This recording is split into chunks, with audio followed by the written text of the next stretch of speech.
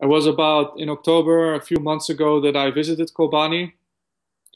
Um, it's a Kurdish city very close to the Turkish border.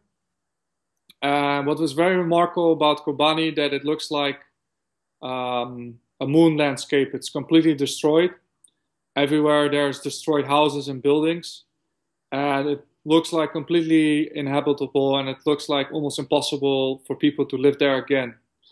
But what is quite special about Kobane that the people are quite resilient, and we went with a couple of other journalists close to the border of Turkey, and there were a lot of Kurds from Kobane returning from Turkey, and sort of it almost looks like they were saying all the same message that we love our country, we love our land, and we never want to leave our land.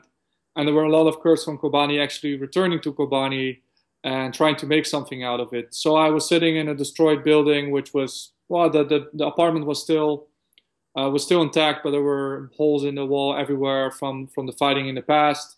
And there was an old man from Kobane was offering us uh, some vodka actually or whiskey, and he said we are not allowed to interview you if we if you don't drink uh, a vodka or a whiskey with us. So we did that, and he, he told about how the city was there, and his his his daughter and sons. I think they left to Denmark, but he was he was like not willing to leave the the city of Kobane, and and he decided to stay there despite that the whole apartment building was very damaged by the war. There were there were holes everywhere, and the rest of the city also. Uh, you could see people that were in the buildings trying to repair their houses, although the, the houses were full with holes in it and full with even dead bodies, and you can still find ex- like explosives are still there. There's still people dying from explosives that ISIS planted there when they were trying to take uh, Kobane.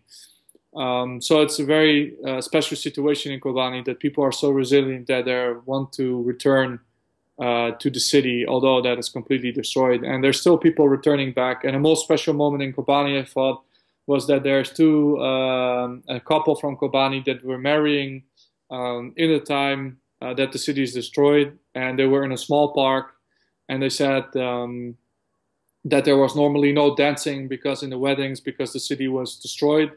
But this time, when I asked them, I said, "Why you don't dance? Because you should be. The city is now liberated, and you should be."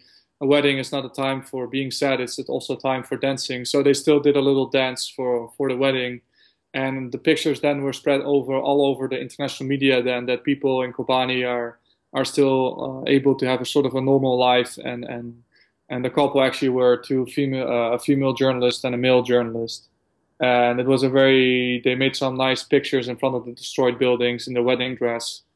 And it was very interesting to see that despite of all the destruction, people are willing to go back to Kobane and uh, pick up their lives again. But the problem is there's almost no jobs there. There's no services, and the local administration has a lot of problems uh, finding international funding to rebuild uh, the city of Kobane because there was uh, international uh, support to bomb ISIS, but there, there, seems to be almost no support for rebuilding the cities that are destroyed by the war.